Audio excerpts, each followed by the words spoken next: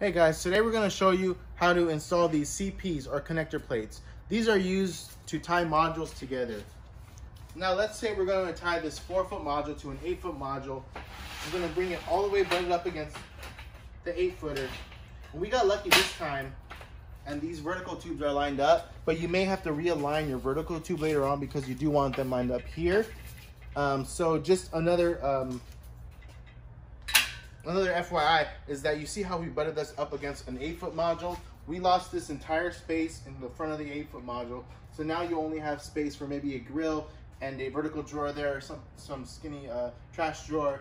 So just be aware of that when, when planning out your island, that you do lose space when you butt two modules up against each other somewhere.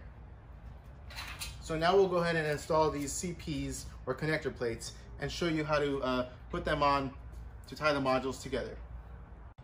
So now we're going to butt these two modules up together and we're going to go ahead and clamp the back sides. You really want to make sure that these modules are real flush here. So we'll go ahead and clamp the back ones, the back tubes, so that these are nice and tight and sit flush. So now that we have our vertical tubes lined up, we'll go ahead and install the connector plate. You can just do one high, one low, as you'll see me do right now. Some people like to double up, put a couple screws in there.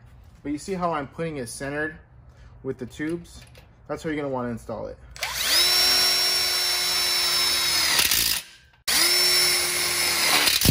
You wanna put at least two or three screws in on each side. So now that we got our top one screwed in, we'll go ahead and mimic that down here.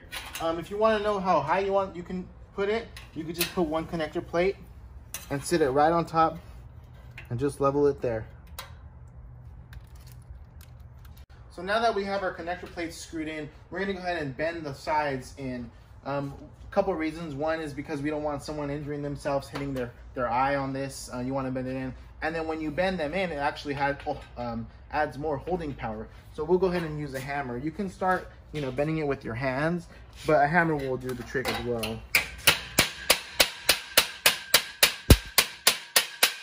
So we'll get it on both sides.